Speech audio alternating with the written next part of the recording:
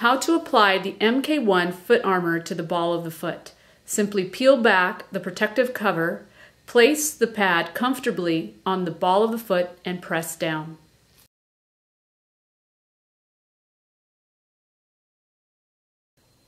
How to use the MK1 foot armor on the side of the foot for arch support or hot spots. Simply peel back the protective cover, Position the cushion with the slit pointing either towards the heel or away from the heel and press down. How to use the MK1 foot armor on the back of the heel for hot spots or cushioning.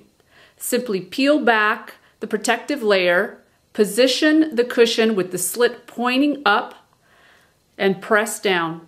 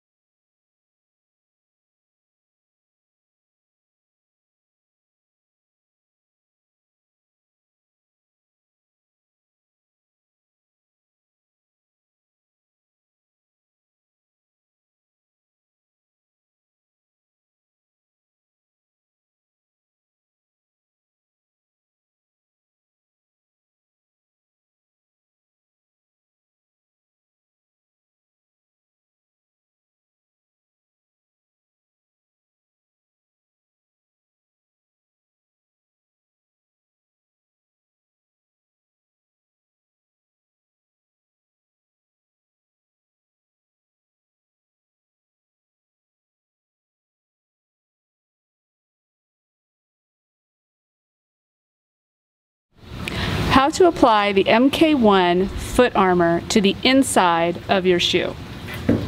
Simply peel back the protective covering. Place the patented MK1 foot armor anywhere you might have discomfort.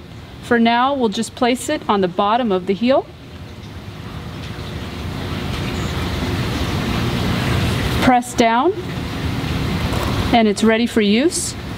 Or you can lift it Wash it. When it becomes sticky again, you can place it in a different position wherever it makes you feel more comfortable.